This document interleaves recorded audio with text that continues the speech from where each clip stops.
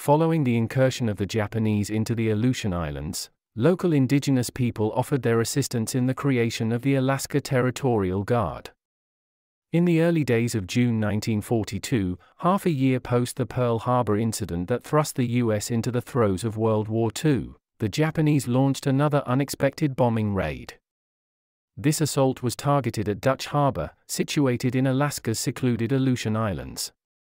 The short lived invasion that ensued resulted in the Japanese naval forces capturing the islands of Attu and Kiska, marking the first occupation of U.S. soil by a foreign power since the War of 1812. Once the U.S. forces expelled the Japanese occupants, it became glaringly evident to the military commanders that continuous surveillance was needed over the lengthy and intimidating 6 640 mile coastline of northwest Alaska for the remainder of the war. As they reached out to indigenous communities for support, they found willing volunteers from the local settlements who were eager to join the freshly minted Alaska Territorial Guard, ATG, colloquially known as the Eskimo Scouts. Editor's note The term Eskimo is viewed as a derogatory and colonially charged term by numerous Arctic inhabitants.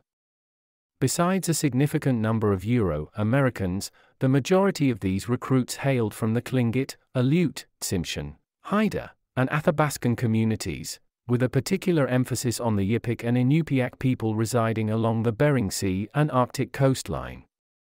These volunteers were well acquainted with the land and adept at surviving in severe winter environments. Over 6,300 indigenous individuals, ranging in age from 12 to 80, enlisted in the Alaska Territorial Guard. They each received a rifle, a uniform, an army training manual, snowshoes, and other necessary equipment. These unsalaried sentinels were taught military drills and trained on operating communication systems. They became the sensory extension of the U.S. military in western Alaska. The Alaska Territorial Guard played a critical role in protecting areas surrounding the Lend Lease transport route, which the U.S. leveraged to transport aircraft to Russia, an ally during the war.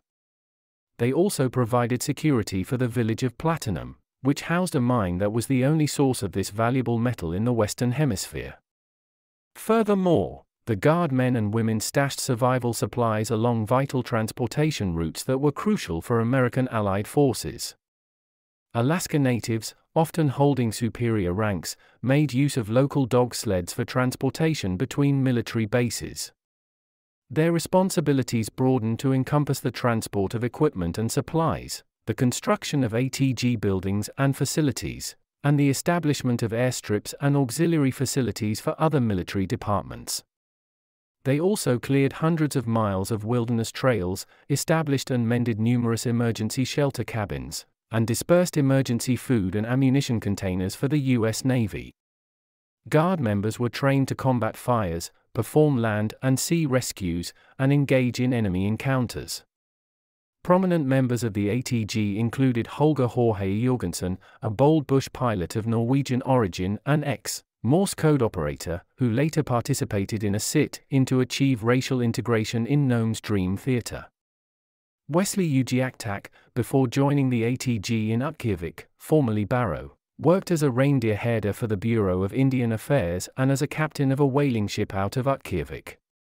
In later years, Jorgensen became a voice for Alaska veterans and the Alaska Native community, often participating in elder and youth events. David Ungrudruk Leavitt, Sr., of Inupiaq descent, joined the ATG as a teenager after a childhood of subsistence hunting. Many years later, he attended the honor flight to Washington, D.C., where he met other ATG veterans who knew their commander, Marvin Muktuk Marston. While some Alaskans valiantly defended their territories, others were forcibly relocated to work in factories. Following the attack on Dutch Harbor, the U.S. military evacuated the Pribilof Islands in Alaska, located in the Bering Sea between the United States and Russia. Indigenous families were crowded onto transport ships and relocated to southeastern Alaska. Here, they were rehoused in fish canneries, abandoned mining buildings, and other unsafe and unsanitary structures. Approximately 100 out of the 881 detainees did not survive to see the end of the war. Even as the actions of World War II shifted focus to Europe and the South Pacific, members of the Alaska Territorial Guard remained vigilant. During the war's final months, the Japanese made a desperate attempt to instill fear in Americans by launching 9,000 incendiary balloon bombs that traveled via the jet stream to the mainland. Trained to identify enemy vessels and aircraft, members of the Alaska Territorial Guard spotted these balloons and contributed to their neutralization by shooting them down and disabling them. It took more than six decades for recognition to arrive.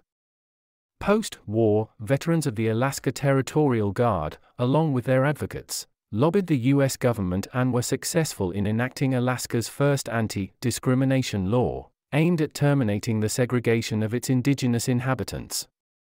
Finally, in 2010, the U.S. government acknowledged the veterans for their service and officially conferred veteran status upon them, when President George W. Bush signed a law commanding the Defense Secretary to issue honorable discharges to the Alaskan natives. Consequently, Alaska's Department of Military and Veterans Affairs established a task force to inform and aid former members, their relatives, and dependents on how to secure their entitled benefits.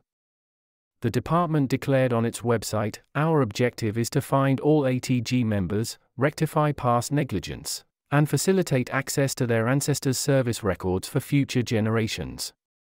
Subsequently, federal funds were allocated to ensure the deeds of the thousands of members who volunteered their service to protect the territory, and the United States would not be erased from memory. In 2012, a contingent of U.S. military veterans in Bethel, Alaska, utilized a portion of these funds to construct a memorial park in honor of the Alaska Territorial Guard veterans.